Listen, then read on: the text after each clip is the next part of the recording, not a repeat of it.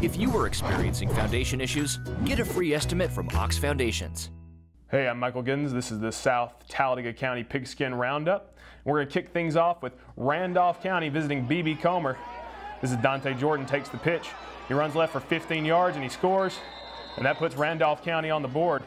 BB Comer punting deep into Randolph County territory, but that's Dante Jordan, number 10. He picks up on the hop, takes, wow, what a spin move, and all I see is open field for Dante Jordan. You know, this name might be called a lot during this game. Number 10 had a whale of a game, but that wasn't going to stop BB Comer in the first half.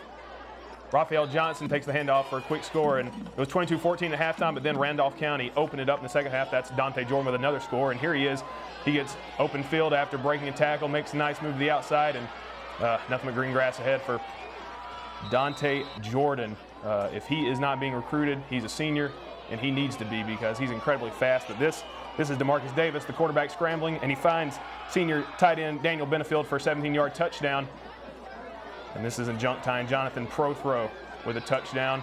The final score, Randolph County 43, BB Comer 14. Now here we are at Talladega County Central for Winterboro at Talladega County Central. And this is sophomore Troy McKinney with a nice run, breaking a tackle. He's going to set up Winterboro with some great field position.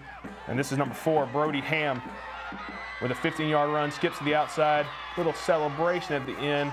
He would pick up a flag for that, but Winterboro would take a two-score lead.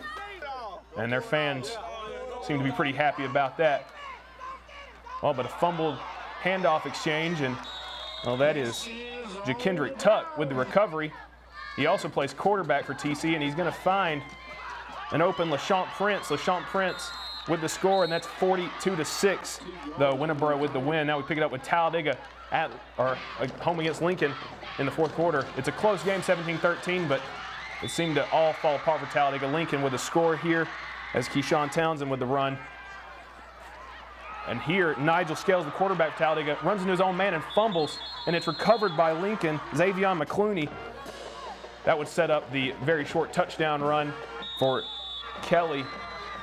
Torian Kelly with the touchdown run, and Lincoln, they're up big now. Talladega last gasp attempt. Nigel Scales looking for DeCorian Wilson down the field, but it's too late. 31-13. We, we, knew this was going to be a tough, tight battle right here. We were just trying to see if they would make a mistake, and we didn't make one. Got a couple turnovers that are big right there, and then we were able to punch a couple more in. Just, just very proud that we could get this victory against them, and, and more importantly, it's a region win. Puts us 2-0 in the region, and uh, puts us on top, and it gives them a loss. That was head coach Matt Zediker for Lincoln. Thanks for watching the South Talladega County Pigskin Roundup.